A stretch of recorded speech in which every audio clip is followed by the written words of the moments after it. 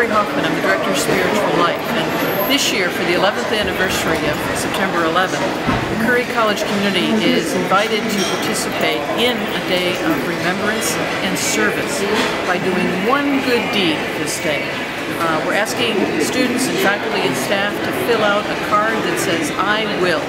It's part of a national campaign to say, I will do one good thing today to honor the people who died and to remember that good can come out of tragedy.